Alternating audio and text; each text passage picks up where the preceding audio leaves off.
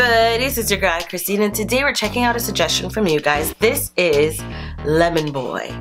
Um, this was a suggestion from you guys to check out um, and I don't know what this is. The only thing I see was this video was not sponsored by anything mentioned in its content so I don't know what we're in for. Hopefully something fun.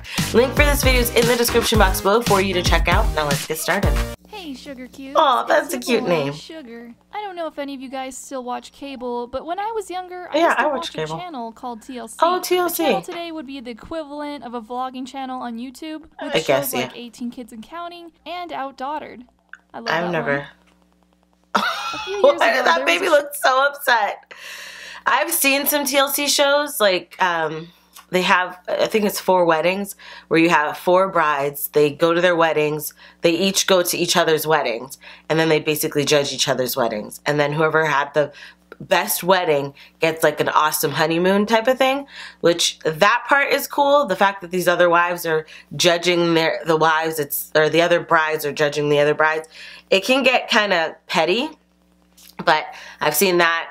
I, I'm sure there's like some of their documentary shows about people with certain health problems or inabilities to like get out of their house type of thing. Um, but I, I don't like sit and watch a bunch of it. But I've seen TLC. show called Extreme Couponing. The people in the show would spend hours gathering I've heard all of- sorts of coupons in order I've to heard of Extreme Couponing. store scot-free. These people would buy $300 worth of products and be able to get out of the store not paying any Really? Sometimes the store would even owe them money. Really? Apparently the people in the show were using counterfeit coupons, so it got canceled. Oh wow. Either way, my mom got super into That's it and up. even created her own book dedicated to saving. In a huge family like mine, saving I was money gonna say, is I important. do extreme- Being 12 isn't easy when there not 12? enough money to go around. Wow. Growing up, us older kids just knew that we couldn't ask for much. Right. And that was fine. The only time we'd ever go out to a fancy restaurant was on birthdays, Aw, depending on the nothing price, too pricey. I get it get wasn't a birthday and we were going out, it meant that there was some sort of coupon my mom had stumbled Oh, that's into. good. Because of this, I'm not too familiar with many restaurants. So, what's your favorite restaurant? Mm, Mm, does the dollar menu at McDonald's? McDonald's. We were the type of family that goes to Costco just to walk around and eat the free Hey. samples. Don't get the wrong idea. My parents aren't that. cheap. They just want to have enough money to send 10 kids to college one day. It's actually a joke in my kids? family that if I ever get married, if I get, ever get married, Why is it an for the wedding reception, instead of ordering Her dress is, expensive is cake, adorable. we would just take everyone down to the local See's Candy to get a free sample. Not a bad strategy if you ask me. Because of all the couponing and savings, I could always count on going to Chick-fil-A twice a year for their two free meals. Wait, what? The first one being cow. Oh, wait, when's In this? order to get a free meal, you had to dress up as a cow, so my mom would Oh, make us really? costumes using clear ponchos and spray paint. We would storm the Chick-fil-A Oh, as a and you get a free meal? cattle. I thought it was hilarious, although I'm not too sure the staff were enthusiastic about it. Oh yeah, 10 The kids. event they That's have pretty. every year was in honor of the military. Oh. Thanks, Dad, for the. Japan. Who's calling me from Japan? The second event they have every year was in honor of the military. Thanks, Dad, for the endless supply of military Oh, okay. discounts. Her father's On in the military. particular Okay. military day, about four years ago, they had a bounce house for the little kids and some competitions set up on a table. Really? There was a chicken eating Oh. competition and a lemon squeezing Oh, squeezing okay. one. I stated in my sports video I could that do I'm not lemon the squeezing. most competitive person out there, and back then I was definitely shy. I was too nervous to be in the spotlight, but my mom wouldn't Aw. have it, so she pushed me Hey, into free- the competition. free meals. My brother Allright was participating, so I thought I should give Swag. it a try. I like as her long as I wasn't alone at the table, it'd be fine. The competition went as follows. The person that squeezed the most juice out of the lemons in a three-minute Mhm. time period wins. I've never The heard of this. containers were opaque, so no one would be able to tell who was Ah, in the that's good. I was kind of out of the lemon squeezing game. I was 18 at the time. The last time I had made lemonade was when I Oh, was six. she's so cute. The competition was about to begin when all of a sudden, this random kid next to me started What was he doing? Hey, hey, look at me. What? How many lemons do you squeeze in a week? What? What, like in prep for Uh, this? None. Well, I squeeze lemons for my mom every day. Okay. Okay. Weird. That's oddly Yeah. specific.